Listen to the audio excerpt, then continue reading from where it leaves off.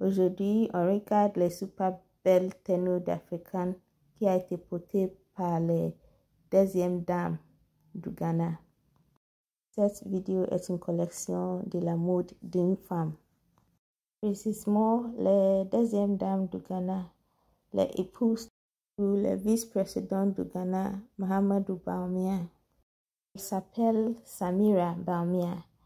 Elle est ici sur ma chaîne parce qu'elle a devenu une icône de la mode. Elle est jeune, belle et très à la mode. J'ai décidé aujourd'hui de partager certains styles qu'elle avait baissé pour vous inspirer. Elles sont beaux et ont été fabriquées pour les fonctions nationales et internationales importantes. Je sais que mes sœurs francophones aiment les belles choses et donc vous allez les adorer. Faites-moi savoir lequel de ces styles vous préférez. Elle porte beaucoup de l'équité ghanéenne parce qu'elle valorise sa culture et ses traditions.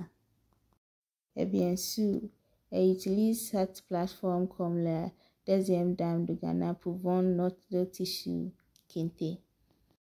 Je la aime parce qu'elle est vraiment à la mode et m'inspire beaucoup. Si c'est la même pour vous aussi, vous pouvez liker et partager cette vidéo.